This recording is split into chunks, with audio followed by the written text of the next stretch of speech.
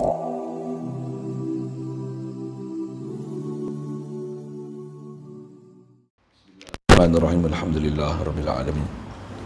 Wassalatu wassalamu ala asyrafil anbiya'i wal mursalin wa ala alihi wa ashabihi wa azwajihi wa zurriyatihi wa atba'ihi ajma'in. Wa ba'du. Baca Bismillahirrahmanirrahim.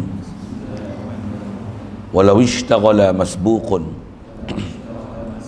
bisunnatin qara'a qadraha wa uzira وسبقه على إمام بركنين فعليين مبطل وبركن فعلي حرام ومقارنته في أفعال مكروهة katakhallufin anhu ila فغار ruknin hmm. insyaAllah kita nak sambung daripada kitab Qurata ini beberapa syarat uh, berhubung dengan masalah berjemaah hubungan antara uh, makmum dan imam bagaimana peraturan-peraturan yang mesti dijaga untuk mengesahkan? Uh, proses ikutnya makmum akan imam begitu juga syarat-syarat yang kena pelihara untuk dapat pahala hasil uh, subut 27 fadilat macam mana pernah disabdakan oleh Nabi sallallahu alaihi wasallam tu. Jadi kita nak sambung ni kalau ikut uh, sedikit permasalahan yang ada kaitan mengenai masbuk dan muafiq. Kata Nasal dia kata walau ishtaqala masbuqun bi sunnatin qara'a qadraha wa unzira. Asal dalam matan dia kata macam ni. Jikalau bersibuk oleh orang masbuk dia sibuk bisunnatin dengan satu perkara sunat istilah masbuk sedia maklum uh, makmum yang tak dapat bersama imam kadar bacaan fatihah. Makmum ditakbir masuk solat tempoh antara dia takbir tu dengan imam nak rokok tak dapat kadar fatihah. Yang pertengahan yang standard kadaran tu dia tak dapat. Orang tu masbuk. Di sebalik masbuk adalah muafiq. Muafiq adalah makmum yang dia dapat bersama imam selepas dia takbir dengan rokoknya imam dia dapat kadar fatihah ataupun lebih. Yang tu adalah muafiq. Jadi kes kita nak bicara ni adalah orang ni dia masbuk. Dengan mana dia tak dapat kadar bacaan fatihah bersama dengan imam tapi dia sibuk dengan benda sunat apa yang perlu dibuat? Qara'a qadraha. Kena qara'a jawab bagi lau tu. Lawishtaghala jawab lau qara'a. Nescaya kena baca ia. Ia masbuk ni. Al masbuk al mushtaghil bi sunnah. Qara'a qadraha. Tu maful bagi qara'a dia kena baca qadarnya ha tu domain balik pada sunat dia kena baca qadar bacaan sunat yang duduk sibuk yang dia telah tinggalkan bacaan yang wajib sepatutnya yang tu diberi keutamaan Contoh macam mana? Misalnya ada satu orang datang mayang dia baca doa iftitah Allahu Akbar. Sepatutnya dah masbuk ni mai pula lambat keutamaan patutnya fatihah lah. Takbir je bismillahirrahmanirrahim. Alhamdulillahirrabbilalamin dan seterusnya. Jadi bila imam rokok, kalau dia terus masuk kepada bacaan Fatihah yang rukun solat, imam rokok, makmum rokok ikut imam, walaupun tak habis bacaan Fatihahnya ataupun tak dan baca langsung, imam takbir saja, untuk rokok makmum ikut rokok dengan imam dengan itu hasillah rakaat makmum bersatu dengan imam Masa ada perkara yang kita sedia maklum lah tu. Tapi kalau mak, makmum ni dia takbir dah datang lambat dengan bahasa contoh gitu. Lepas tu dia sibuk doa cerita Allahu akbar kabira walhamdulillah katsira subhanallah bukratan wa asila. Tu istilah maksud dia sibuk dengan sunat. Tak dan habis lagi bacaan doa cerita ataupun dah habis tapi tak dan nak baca Fatihah. Dia takbir, imam takbir Allahu akbar. Status dia masbuk. Uh, sepatutnya dia kena baca Fatihah tapi dia duduk sibuk dengan sunat. Kadar yang sibuk kan dengan sunat tu sepatutnya kalau dia baca Fatihah tentu ada kadaran Fatihah yang sepatutnya dia boleh baca yang merupakan rukun dalam solat jadi bila dia sibuk dengan sunat macam ni kalau bahasa kita kita sebut dia kena denda lah. pasal apa? pasal meninggalkan prioriti yang lebih besar tak baca rukun solat tapi duk sibuk dengan sunat. Jadi dia tak boleh rokok bersama dengan imam. Rokok sengaja tahu batal. Tapi bab ni tak ramai lah orang belajar. Termasuk dalam hukum-hukum fiqah yang rumit juga. Masuk rumit ni tak ramai orang belajar. Kalau belajar pun kadang belajar asas sangat tak belajar detail macam kita belajar ni. Jadi kalau memang dia tahu sepatutnya kena baca fatihah. Tapi dia sibuk benda sunat dengan baca benda sunat tu tak baca pun fatihah. Imam rokok dia turun rokok. Kalau dia tahu sepatutnya dia kena baca fatihah. Uh, dia rokok batal solat. Jadi kalau tak tahu keedah kita dalam fiqah tak tahu tu kalau dia baru masuk Islam tak tahu tu kalau dia tak duduk dalam majlis yang orang duk mengajar. Ilmu-ilmu agama ni duk faham duk ajar ilmu solat. Semua perkara berkaitan dalam bab syariat. Yang pernah diajar oleh Nabi SAW tak pernah duduk tempat pengajian uh, orang tu dia ada kemaafan. Sama ada baru masuk Islam ataupun jauh daripada orang-orang yang tahu ilmu pengetahuan tentang bab peraturan solat ni yang tu maaf pada hak dia. Tapi kalau duduk tempat pengajian tak pernah main mengaji tempat mengaji pun dekat. Uh, ada orang mengajar dia tak pernah peduli tak pernah ambil tahu peraturan, peraturan imam makmum ni sebanyak ni batal. Pasal istilah cuai dengan menuntut ilmu dan belajar ada fardu ain khasnya atas kita bicara ni fardu ain pada diri dia nisbah kalau dia masbuk ataupun muafiq apa sepatutnya dia kena laksanakan? Dia tak buat tu hukum cuai nama dia. Bila cuai kena denda. Dalam konteks ni cuma kalau tak belajar dia tak tahu nak buat apa dia wajib qada balik sembahyang dia yang hukum tak sah. Pasal sepatutnya hukum tak dapat rakaat kerana Fatihah sepatutnya kena baca.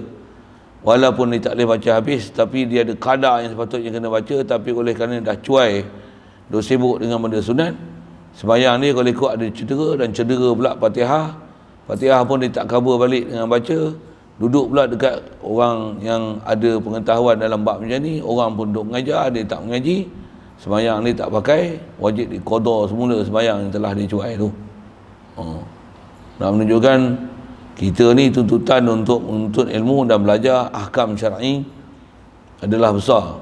Lebih besar daripada cari rezeki lagi. Cari rezeki boleh tawakal orang banjir pun ada orang datang bagi tolong. Tapi kalau bodoh tak ada orang main ajar kita. Ha, sikit ayat macam tu. Kepi kasar lah sikit bahasa-bahasa macam tu kan. Ha, bodoh tak ada, ada orang nak bantu kita ajar kita ilmu. Melainkan wajib atas kita pergi cari Pasal orang tak tahu kita bodoh tak bodoh. Tapi kalau kita kena banjir, ada orang tahu kita kena banjir. Naik atas bumbung, ada helikopter datang main turun, bantu. Tapi kalau bodoh, tak ada orang main turun helikopter main ajar kita macam mana masbuk muafiq. Okey. Cuma bahasa saya cakap sebut macam tu kasar lah sikit kan. Baik, jadi apa dia kena buat kalau ikut peraturan pasal bab macam ni Kadang-kadang kita peraturan semayang ni kita mana nak sangka yang kita duk baca benda sunat tengok, tengok imam rokok kita tak dan baca Fatihah yang sepatutnya kita kena baca Fatihah ada situasi dia kita tak sangka tambah pula kita datang berjemaah pada tempat yang imam kita tak tahu kondisi dia macam mana. Ada imam laju ada imam ikut standard lah. Ada yang lambat melampau. Ha, kita kadang-kadang nak juga baca doa iftitah tu. Jadi andai kata jadi kes macam ni kita duk sibuk benda sunat.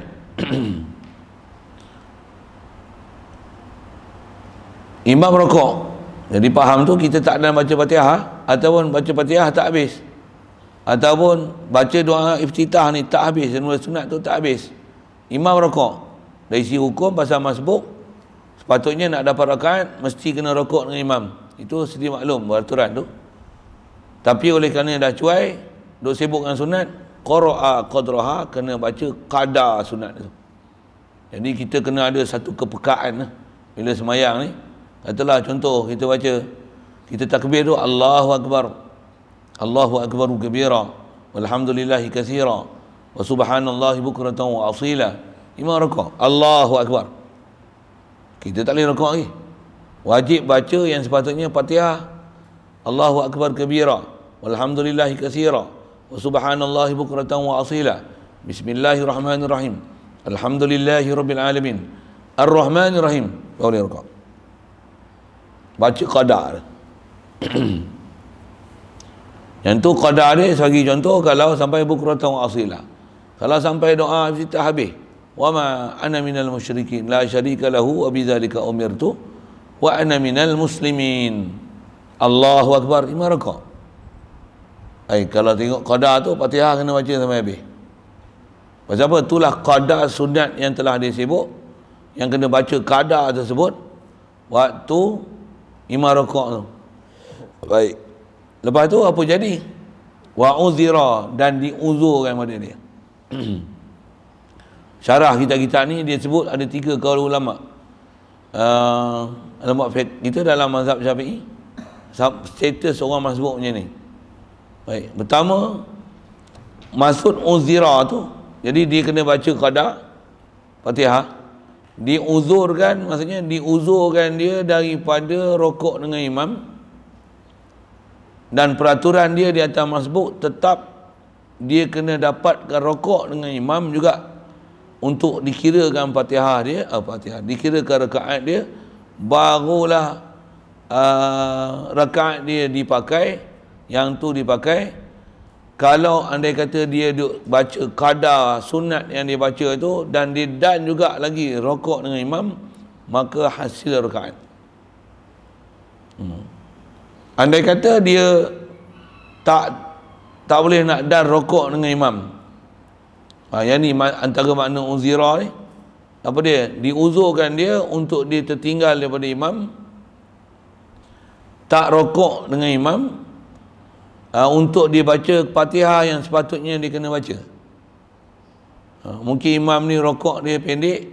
Dia tak dan nak baca kadar fatihah yang sepatutnya dia kena baca di atas dia sibuk dengan benda sunat dia tetap kena baca apa yang sepatut kena baca pasal dia cuai jadi pasal duk sibuk dengan sunat bila imam itidal dia tak dapat rokok dengan imam diuzurkan pada dia untuk rokok dengan imam tu kerana kena baca fatihah yang telah dicuai Lepas tu semayang dia lah rakaat tak dapat pasal dia masbuk kerana tak dapat rokok dengan imam. Jadi diuzurkan tu maksudnya dia kena baca Fatihah. Lepas tu kalau katalah imam itidal tidak baru habis Fatihah dia. Lepas tu imam akan turun rokok. Eh sorry. Imam akan turun sujud. Bila imam turun sujud, makmum ni kena tinggal peraturan peraturan dia. Dia tak boleh rokok. Pasal rokok pun tak hasil rokok dia. Pasal dia memang tak dapat rokok dengan imam. Rakaat dia tak dapat. Jadi nak buat apa? Dia ikut saja imam turun sujud. Rakaat tu larah. Jadi masbuk yang duk sibuk dengan benda sunat ni kalau dia duk baca bila imam rokok dia kena baca kadar dia dapat rokok dengan imam yang tu sedia maklum lah maksudnya dia memang dah baca apa sepatutnya dia kena baca dan dia dapat rokok dengan imam maksudnya dapat rakaat tapi kalau dia duduk baca apa yang sepatutnya dia kena baca dengan sebab dia cuai baca hak sunat, dia tak dapat rokok dengan imam, dia tak dapat rakaat. Ha, cuma diuzurkan pada dia atau saya sebut atas ada tiga kaul tu. Yang kaul yang memang kuat disebut bila dia tak boleh habiskan fatihah nak rokok dengan imam imam dah itidal memang tak dapat rekaat. Fatihah dia kena baca juga kadar yang sepatutnya dia kena baca. Dan imam teruskan sembahyang dia. Bila terus imam duduk posisi mana satgi makmum sambung apa yang telah dia tak dapat ikut bersatu dengan imam sebab baca? Sebab dia baca Fatihah tu lara tu yang pertama. Yang kedua atas kaul uh, kata unzira di unzur ada yang kata dia kena baca Fatihah. Pasal Fatihah tu wajib yang telah dia tercuai baca dengan sebab sibuk benda sunat. Uh, diuzurkan dia kau kedua kata diuzurkan dia sampai tiga rukun panjang. Jadi bila uzur tiga rukun panjang dia kena rokok juga lagi bila imam walaupun dah itidal dah sujud bila imam teruskan sembahyang imam dia dah habis bacaan fatihah dia dia tetap kena rokok dia tetap kena itidal dan dimaafkan untuk dia masih boleh hukum ikut imam tu selama tak tertinggal tiga rukun panjang. Sebab kita baca semalam kita lepas lah bab tiga rukun panjang tu. Dengan makna lah imam ni dia kena baca hak fardu. Ni kita kes-kes ni ya.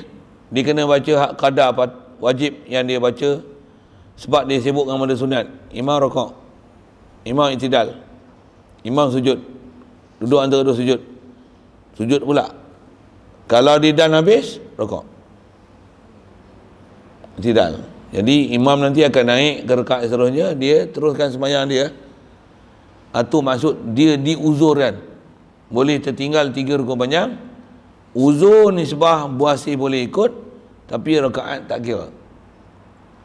Rakaat tak kira. Pasal apa rakaat tak kira? Pasal dia status masbuk syarat masbuk mesti dapat rokok dengan imam baru dapat rakaat dengan imam tersebut tapi diuzurkan boleh tinggal tiga rukun panjang. Kerana dia ada wajib yang dia kena tunai. Nisbah dia kena baca hak wajib dia umpama muafiq. Macam kita baca semalam orang muafiq bila dia teringat orang imam muafiq atas kes muafiq dia lah. Orang muafiq maksudnya dia memang dapat kadar barat bacaan Fatihah dengan imam bila imam rokok baru sedar dia tak baca Fatihah. Wajib baca Fatihah dia tak boleh rokok dengan imam.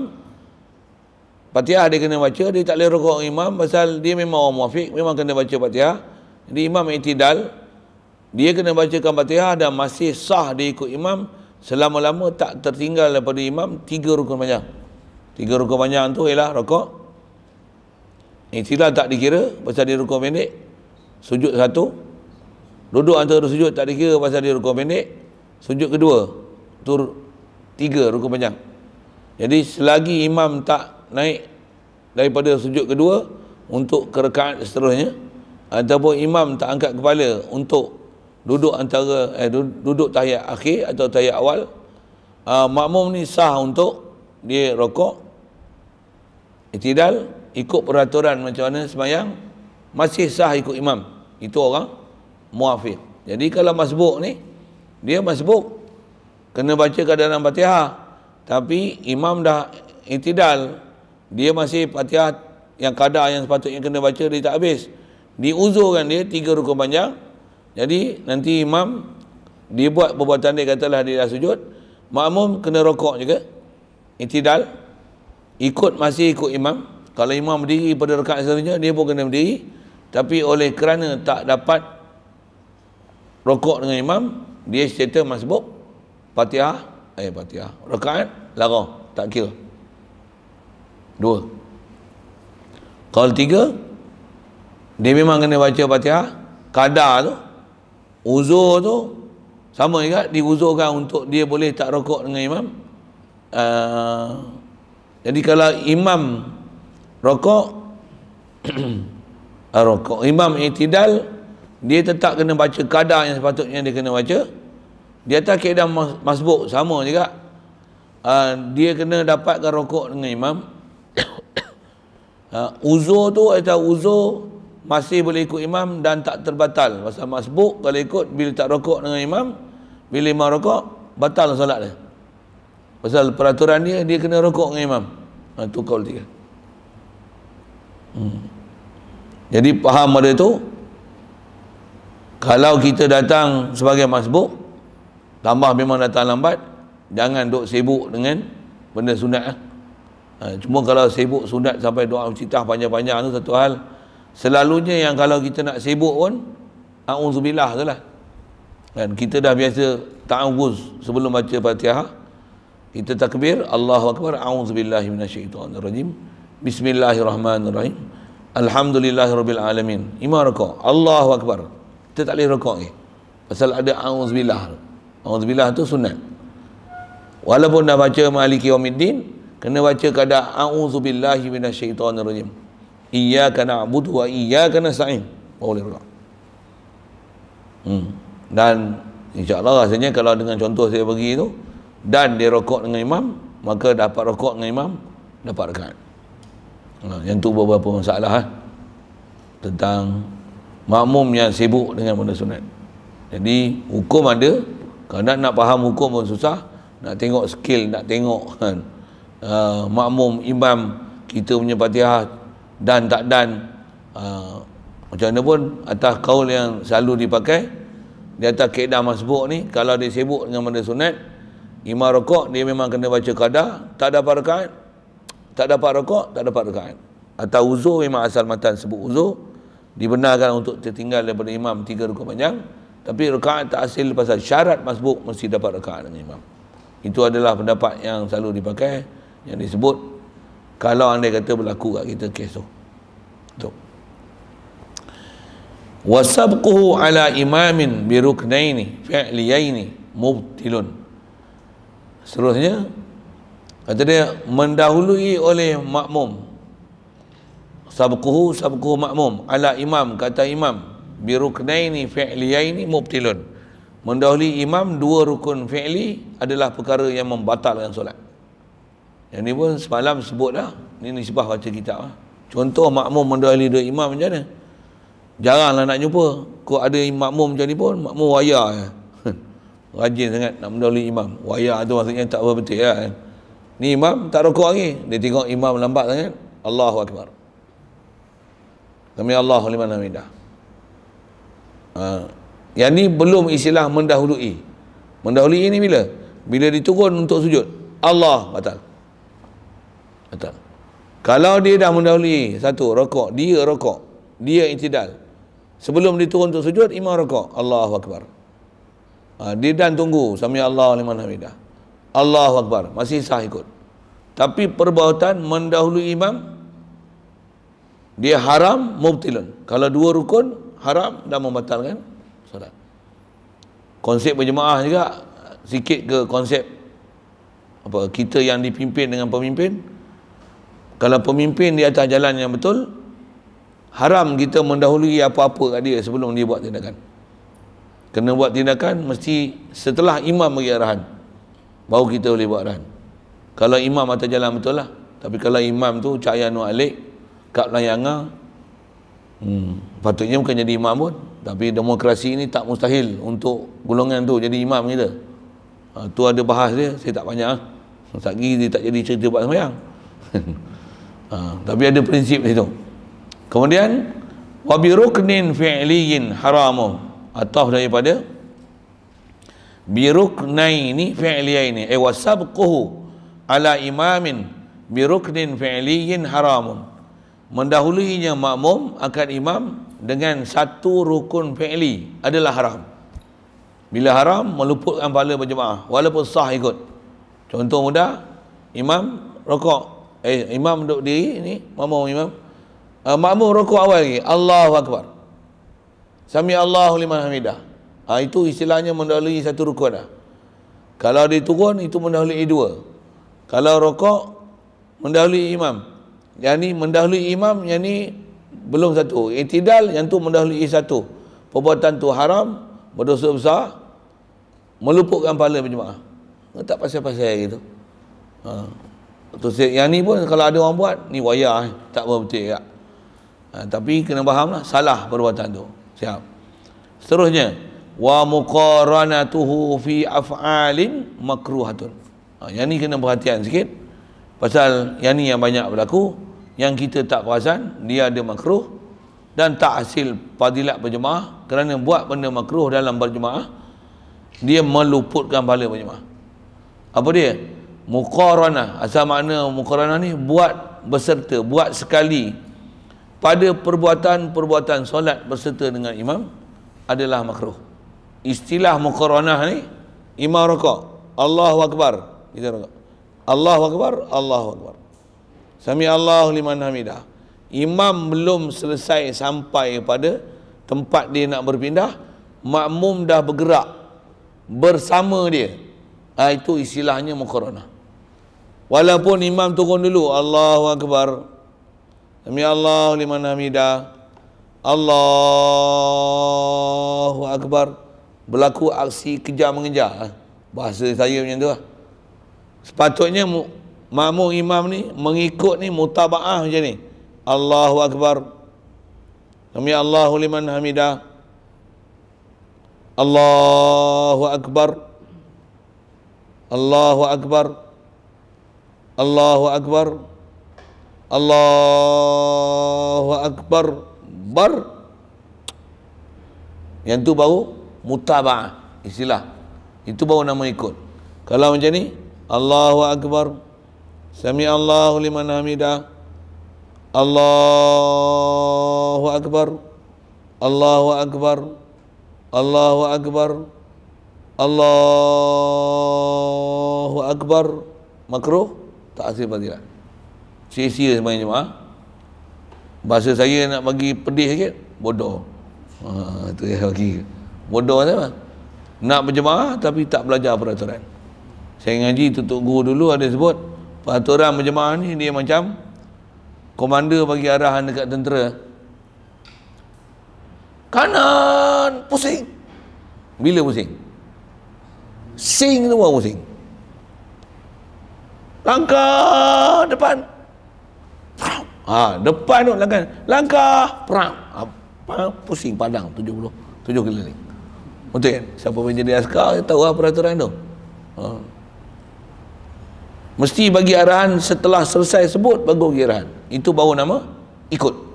Ikut ni bukan uh, macam mana kita faham ikut lah. Kata-kata orang sembahyang tak belajar dengan betul dia bukan ikut. Istilahnya yang tu muqaranah bersama-sama.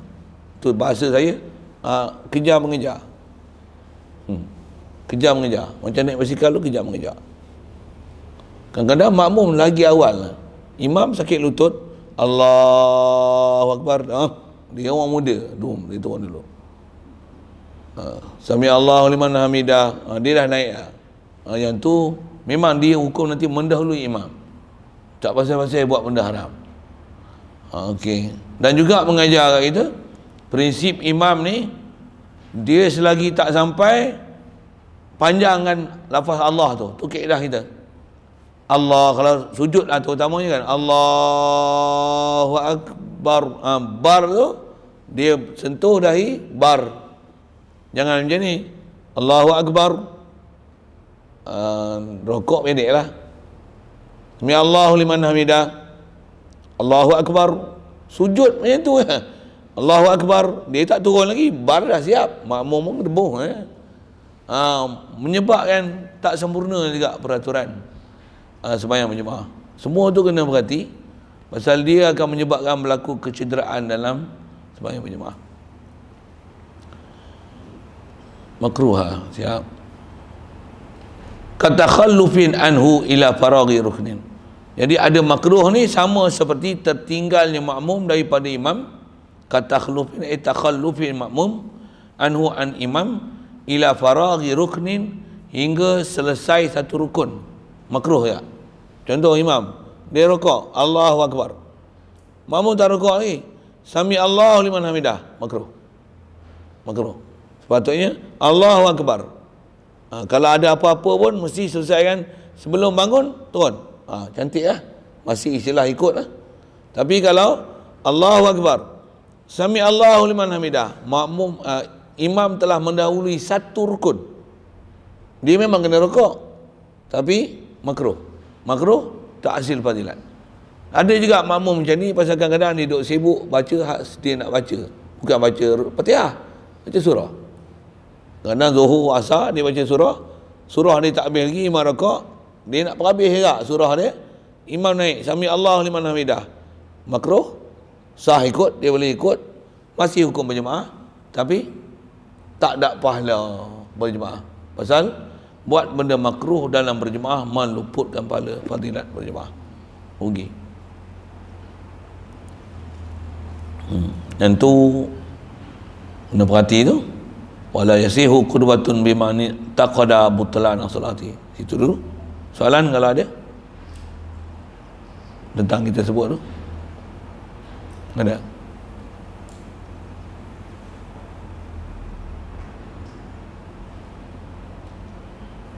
Mas sebut tu boleh faham? Ya.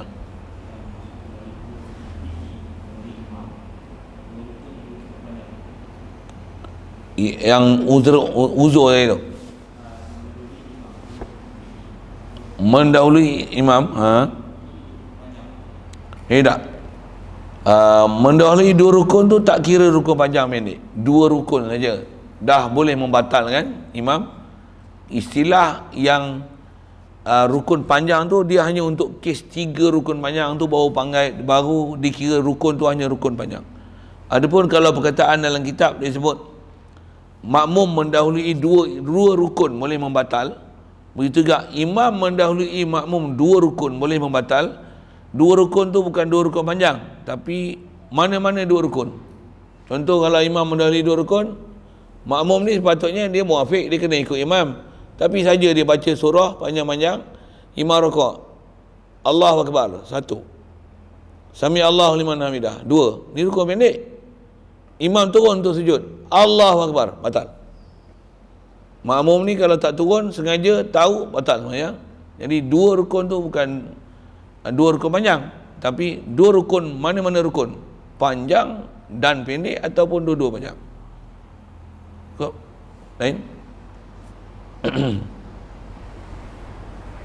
Itu dulu insya-Allah panjang umur. Sambung untuk pelajaran seterusnya wala yasihu qudwatun bimani taqada butlan salati. بسم الله الرحمن الرحيم اللهم نور قلوبنا من نور هدايتك كما نورت الارض من نور شمسك ابدا ابدا برحمتك يا ارحم الراحمين وارزقنا فهم النبيين وحفظ المرسلين والهام الملائكه المقربين وسلم تسليما ala jamil anbiya'i wal mursalin walhamdulillah rabbil alamin.